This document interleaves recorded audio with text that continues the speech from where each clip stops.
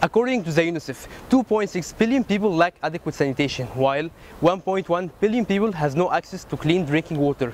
Water is a key component in all of our daily life, no matter where we live.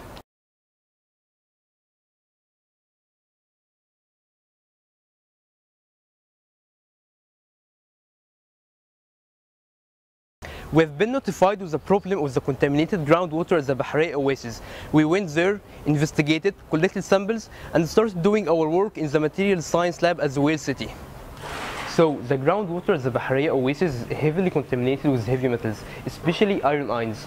The concentration of the iron ions reaches up to 67 parts per million, and this gre- greatly exceeds the limit allowed for by the World Health Organization, which is around from 0.3 to 3 parts per million.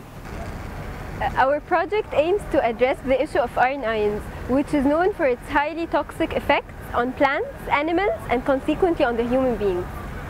So how did we approach the problem? We tried to found very cheap materials, which are already found in the environment.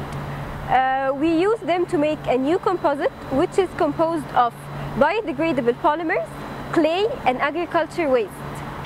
Based on continuous process experiments, it was uh, found that uh, the iron concentration was uh, reduced from, seven, from uh, 7,000 ppm to 70 ppm in only one hour. And it was found that, the, that the iron concentration was reduced from uh, 70 ppm to 0.7 ppm in only three minutes.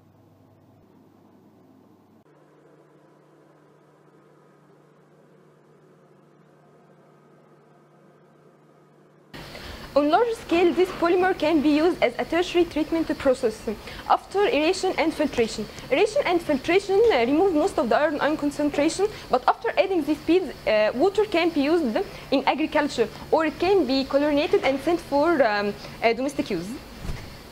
What is special about our composite material that is developed from uh, cost-effective materials? They can be used several times before uh, regeneration and uh, they are um, environmental friendly.